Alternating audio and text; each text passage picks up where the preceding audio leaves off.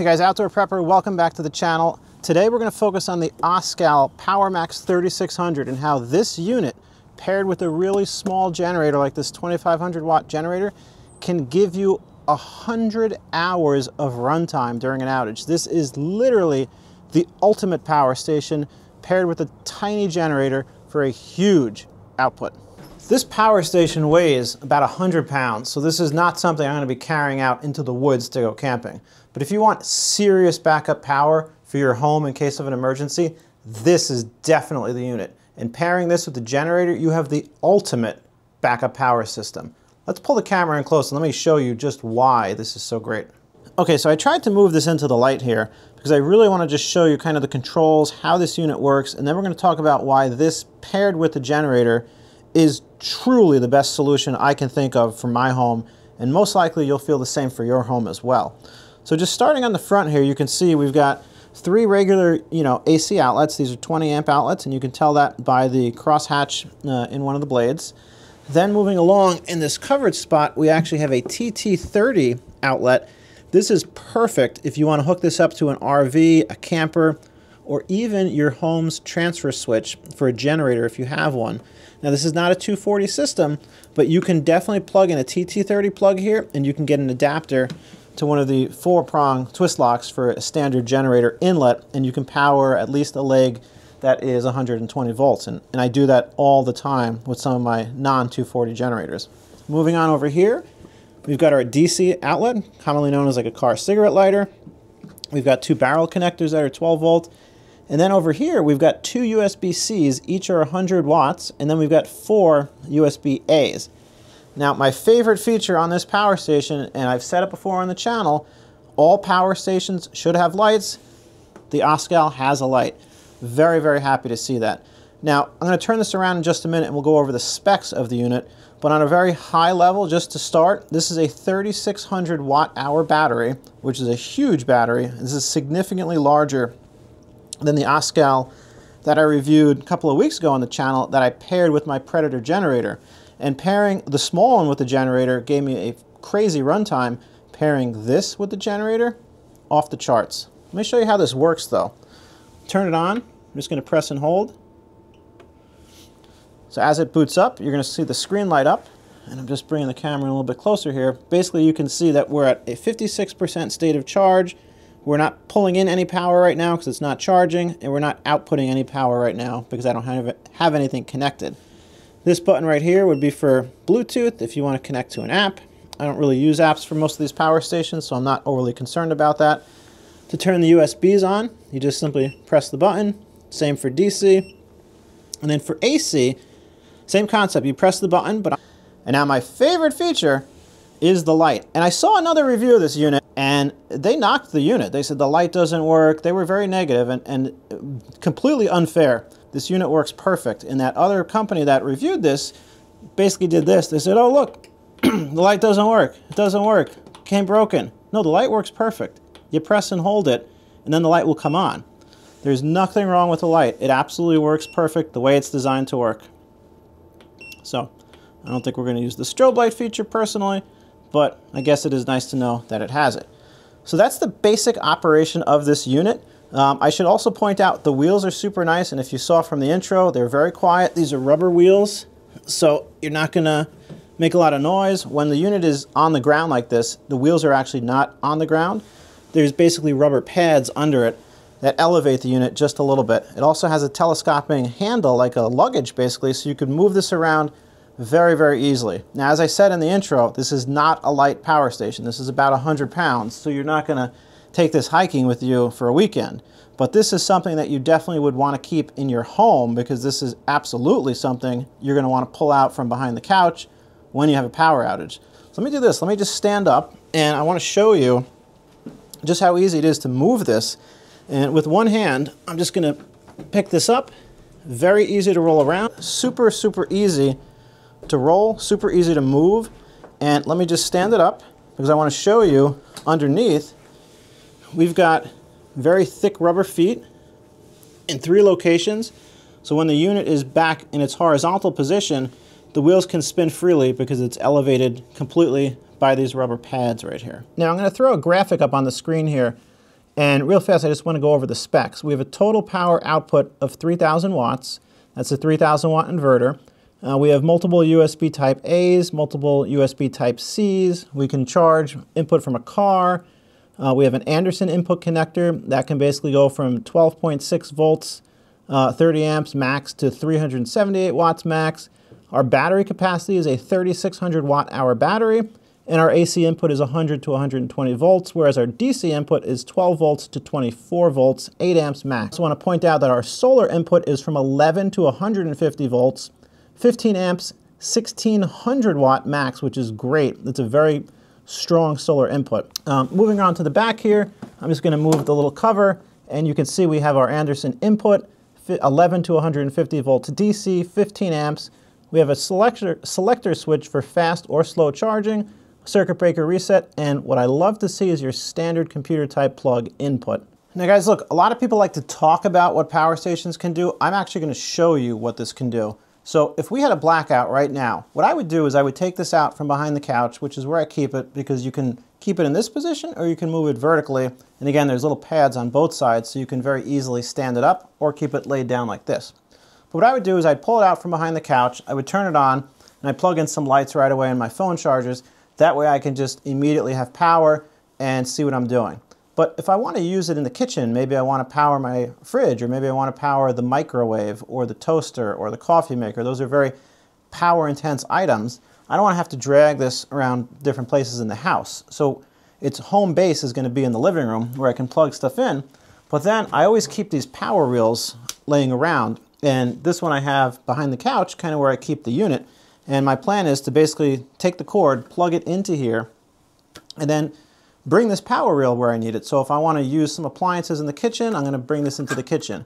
If I want to bring it upstairs, I'll just take the power cord reel upstairs. And you can plug in multiple power cord reels, or you can do what I had suggested earlier. If you have a transfer switch, you can very easily pick up an adapter for a TT30 to one of the, I think it's L, L1430R plug, uh, which is what most of the generators take and you can plug this into your transfer switch. And I've done that before.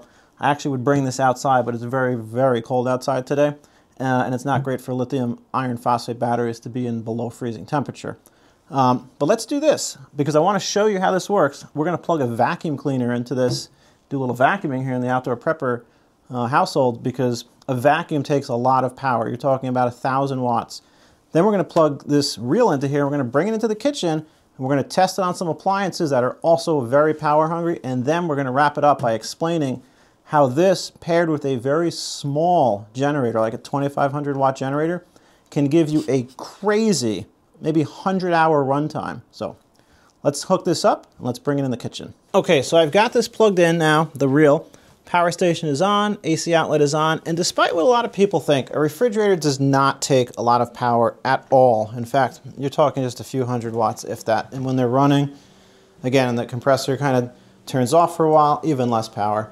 Uh, probably the defrost cycle is your highest usage. So I don't think a fridge is a good test. A toaster oven, however, takes a lot more power. So I've plugged the toaster into the reel here, which is on from the power station, Let's put it on a toast cycle and then let's walk over to the power station and see kind of what we're pulling. So I heard the fan spin up on the power station from across the room. So let's go ahead and walk back in there now. I'm just gonna follow the cable here so you can see that there's no breaks in the cord. It's not plugged into anything else. And yeah, look at that.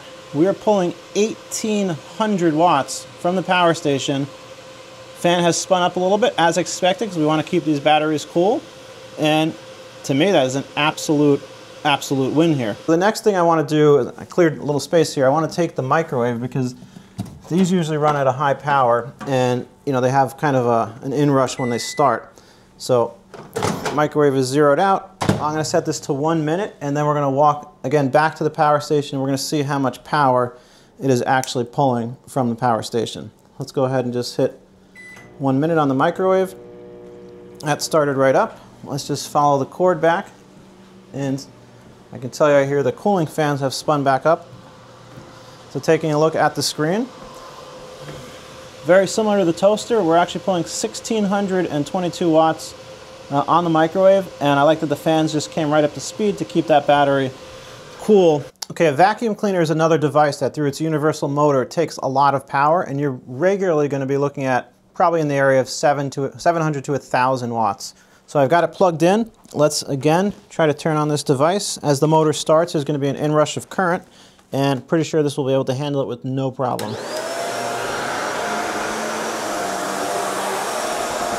And I know the camera is a little bit away from me, but I'm looking at the screen. And in fact, maybe I can grab the camera uh, off screen and I'll point it to it, but we're pulling 895 watts with the vacuum, with the universal motor, and no issues at all with this power station. I just wanted to grab the camera, and again, we're gonna point it at the screen while I start the vacuum, just so you guys can see, again, the, uh, the power output here.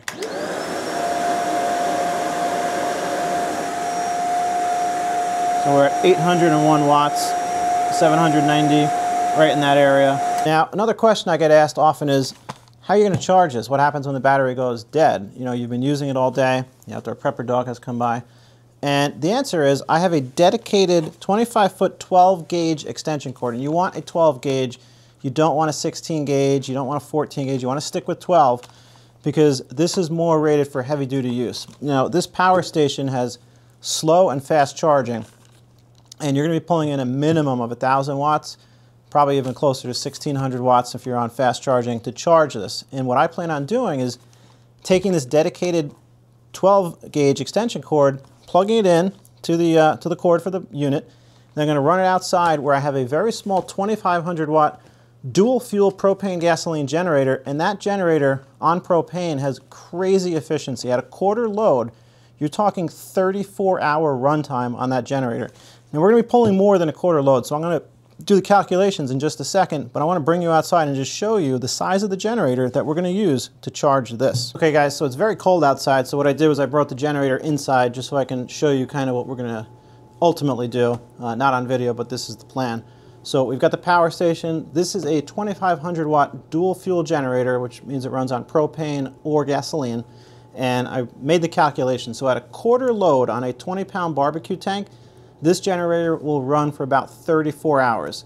Now, this is going to take more than a quarter load to, to charge up. So this will be pulling about 1200 watts on slow charge. That means we'll get about 12 hours of runtime from this generator if it ran continuously. But this takes about 2.5 hours to charge. So basically, we can get 5.12 charge cycles out of this generator before it has exhausted a 20 pound propane tank. And basically what that means is if you're using this to power your fridge, your lights, your phone chargers, the television, the internet, occasionally you're going to run a toast cycle or the microwave or a coffee maker, you're looking at about 20 hours of power from this unit before it is depleted and you need to recharge. So by pairing this with the generator in a 20 pound tank, you're basically looking at 100 hours of power between this unit and one 20 pound propane tank. That is a massive amount of runtime that you would never get from a tank of gasoline or a tank of propane, which is why pairing a solar generator or a power station with a traditional generator is totally the ultimate way to go. I also just want to point out that this has pass-through charging. So if you're having this hooked up to your lights, your devices, the fridge, and the battery is now flashing, you know, that it's almost out of power, what you can do is you can take this 12 gauge cable, connect it to the generator, and start the recharging process while this is still powering your devices because it has pass-through power to allow you to charge and power devices. Guys, I hope that it was very evident from the demonstrations inside with all the devices that this was able to power, along with the calculations of runtime from the generator, that these two units combined will literally give you 100 hours of runtime. Tell me where else you're going to get that from a 20 pound propane tank. You're just simply not. I hope this video was helpful. Do me a favor, I own this Oscal PowerMax 3600 and I own the 1800. They're both awesome units. I bought the 1800 first and then I picked this up. But if you got questions, leave a question, leave a comment, like and subscribe. I'll do my best to answer. And I will certainly see you on the next one because we've got even more power stations to review coming up next.